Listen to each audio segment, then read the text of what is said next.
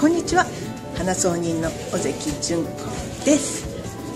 今日は市役所の新春ディスプレイのメンテナンスに来ています。ほ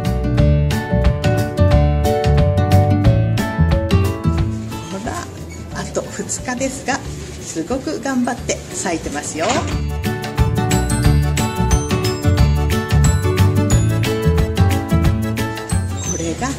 ってるかっていう質問をよく受けます。こちらは全部根っこがついている植物が入ってますよ。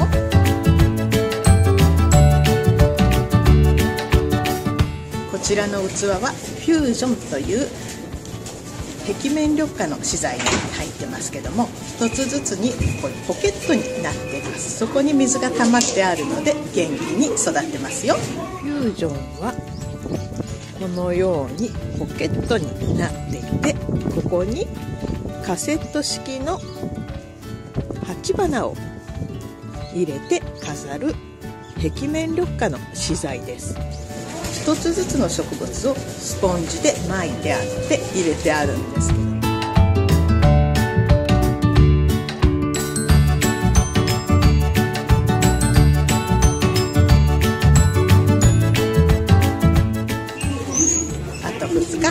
元気に咲いてね。